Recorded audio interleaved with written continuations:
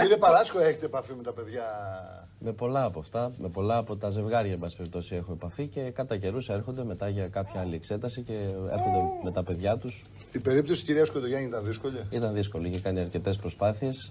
Πόσες δηλαδή, πόσες προσπάθειες που Είχα κάνει, αυτή ήταν η δέκατη που έκανε στον κύριο Παράσκο. Δέκατη; Η δέκατη, ναι. Ε, η δέκατη συνολικά, σε εμάς ήταν ναι, η πρώτη. Η πρώτη, ναι. Που έγινε και Εννιά είχα κάνει σε υπόλοιπους γιατρούς και η δέκατη ήταν στο κύριο Παράσκο. Δέκα, δέκα. Και κάνει πόσο, κάνει τετράμινο η διαρκή όλη η διαδικασία; Όχι, όλη η διαδικασία κρατάει από 10 μέρες έως ένα μήνα. Ανάλογα με Ναι, το αλλά ξέρω ότι πρωτόκολλο. μετά δεν μπορείς να κάνεις αμέσως. Σωστό. Ε, καλά είναι να κάποιος να περιμένει, αν έχει υπάρχει αποτυχία, καλά είναι να περιμένει 3 με 4 μήνες. Άρα ένα δηλαδή, τετράμινο, μήνα έτσι. στο μήνα δεν είναι σωστό. να Γιατρέ, περιμένετε. τώρα ανακαλύψαμε αυτό το πρόβλημα που προχώρησε η επιστήμη ή ο τρόπος ζωής, η διατροφή, το άγχος ε, παίζουν ρόλο. Κοιτάξτε, είναι πολλά τα προβλήματα. Όντως, ο τρόπος ζωής και η διατροφή και οι διάφοροι εξωγενείς παράγοντες, οι οποίοι τους οποίους δεν μπορούμε να ε, ελέγξουμε, δηλαδή ακτινοβολία, κάπνισμα, ε, ε, ε, άλλοι παράγοντες, ε, στρες, άγχος, ψυχολογία, έχουν σοβαρή επίπτωση. Όπως σοβαρή επίπτωση έχει και η ηλικία των γυναικών που ξεκινάνε την απαροκή τους, ηλι- την απαροκή τους ζωή Αργούν, έτσι, οι σε, γυναίκες. ναι, σε, μεγαλύτερα, σε μεγαλύτερα στάδια, σε μεγαλύτερες ηλικίες. Συνεπώς, είναι πολύ πιο αυξημένο τα τελευταία χρόνια το, το πρόβλημα και γι' αυτό και καταφεύγουν σε εμάς για να γίνει ε, αυτή η θεραπεία.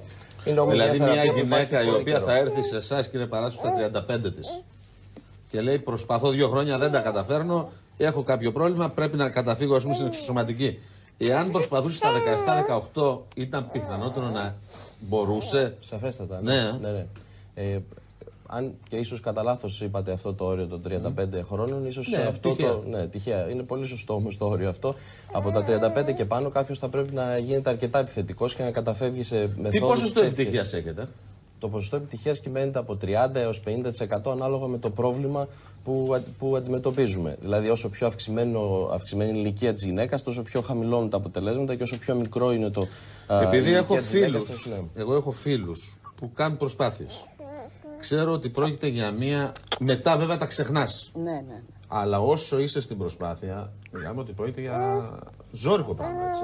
Ναι, υπάρχει, έρχονται υπάρχει, εύκολα. υπάρχει κάποιο στρες. Έρχονται α, Εύκολα ή στα τελευταία χρόνια έρχονται εύκολα. Διότι είναι ένα, αν, θε- αν, αν μου λέτε ότι είναι ένα ταμπού, πια δεν είναι ταμπού, γιατί είναι ένα πρόβλημα σοβαρό το οποίο πρέπει να ξεπεραστεί.